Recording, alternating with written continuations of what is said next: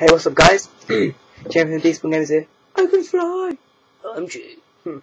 Anyways, I just went inside me. Oh my god! And again. Ooh, that's what she said. Right, I'm Jamie from the Despawn Gamers, and welcome back to my Minecraft Made Easy series. This episode, I'll be doing about water fountains. I love Minecraft because you can have water, it's so awesome. I've already made three, so I'm just going to show you how easy it is and how you can become better players.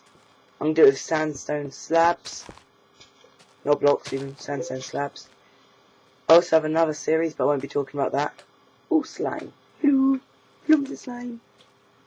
Well, after months it's finally come up. Steam downloaded. I finally downloaded TF2. Fail. If you don't know what this is, this is a quick seed collector. It just means that you can collect seeds for your farm and other things like that quickly. If you're not if you're just playing uh, single player, right? So now we're actually going to make it. It's going to be free cross, so it corresponds with the path. So it'll look pretty tidy.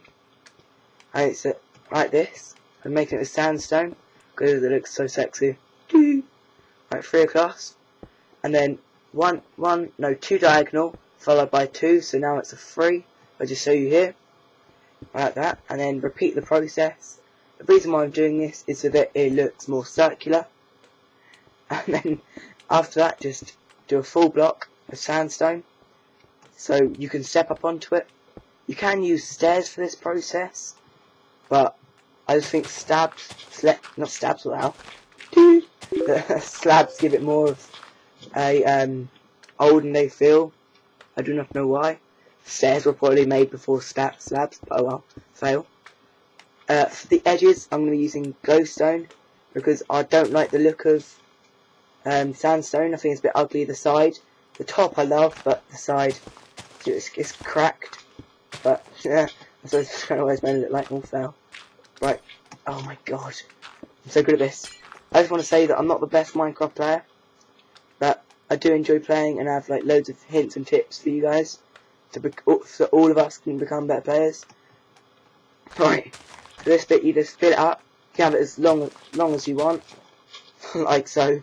This is gonna look ridiculous though. Oh, what, what am I doing? Fail.